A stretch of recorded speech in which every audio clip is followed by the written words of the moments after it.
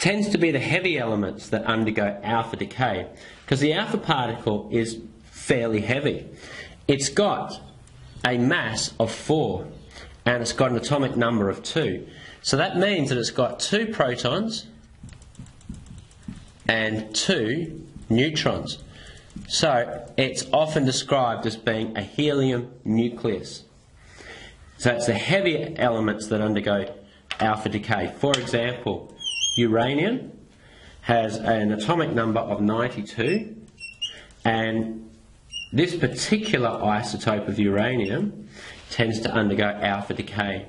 So I'm going to show you how to draw a, um, an equation uh, to demonstrate the decay. So we start with the isotope on this side, then our arrow, and then we draw our product. So I'm going to firstly draw our alpha particle with the mass and the atomic number. Okay, now so the nucleus of this uranium isotope has ejected this.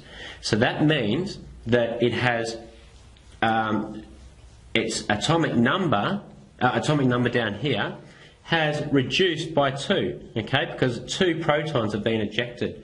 So it's no longer 92, it is now 90. And its mass has was 238, but it's released uh, two protons and two neutrons, so its mass reduces by 4 as well. So 2, 3, 4. And then you look up your periodic table and you find out what element has an atomic number of 90. And that is thorium. And that is how you express alpha decay.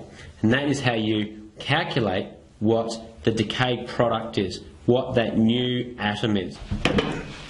And the other thing that gets released is energy in the form of gamma rays.